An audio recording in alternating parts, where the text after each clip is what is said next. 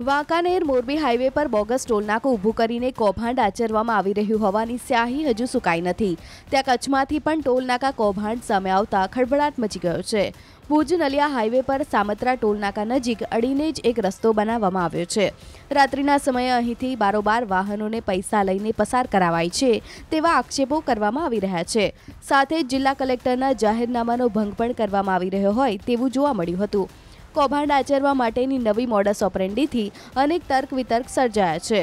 ઉલ્લેખનીય છે કે આ પહેલા વાંકાનેર મોરબી હાઈવે પર બોગસ ટોલનાકું ઊભું કરીને કૌભાંડ આચરવામાં આવી રહ્યું હતું, ત્યારે હવે કચ્છમાંથી કૌભાંડ ઝડપાતા ખળભળાટ મચી જવા પામ્યો છે.